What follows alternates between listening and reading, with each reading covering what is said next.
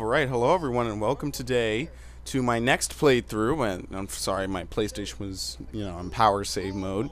Um, my next playthrough, which basically after the conclusion of probably what is my longest closer analysis franchise since Assassin's Creed, um, we are finally ready to play God of War Ascension. I've finally caught myself up on all the God of War games I didn't play. I basically haven't played the whole series, um, besides this past couple of, like this past month or so.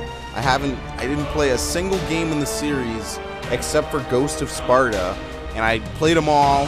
It was a very fun experience. It definitely a lot of funny stuff happened, a lot of interesting gameplay, uh, some pretty funny glitches and whatnot. And um, yeah, just you know, overall, it was a pretty enjoyable experience, which is why I love my closer analysis, even though I've pretty much been doing it for as long as this channel has been around. Now, there's a few things to note.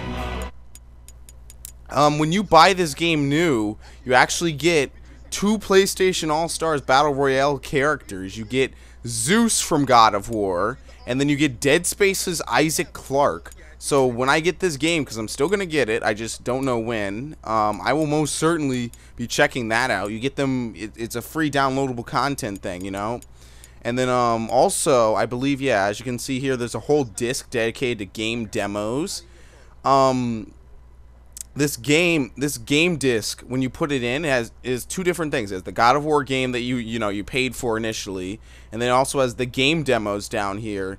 And you know as you know you know unless you've been you know not paying attention to this when you buy uh, the what is it called? The um the last of us demo is um is actually on the god of war disc and when they release it i guess you'll be able to play it or something along those lines. Oh it's more than six demos. It's like 10 demos so they give you. It's like um, this game reminds me of a uh, Legend of Zelda: Ocarina of Time, where they had all the movies on the disc as well, in, in addition to the two different games.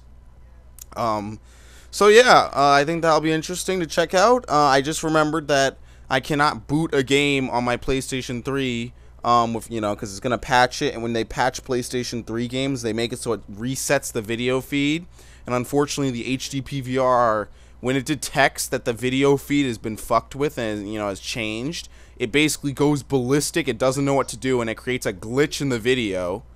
Oh, XCOM Enemy Unknown is now on the PlayStation Store. That's a good game. You guys should check that out. I'm to return to that game soon. Um, but... Oh, someone's online? Who is it? Oh, shit, JT Willkill. He's on Netflix. That's right, the PlayStation does have Netflix. Oh, they have Amazon Instant Video? Oh, I wonder if I could sign into my Netflix account from here. I probably can't, but that, that's completely unrelated to what I'm actually about to do.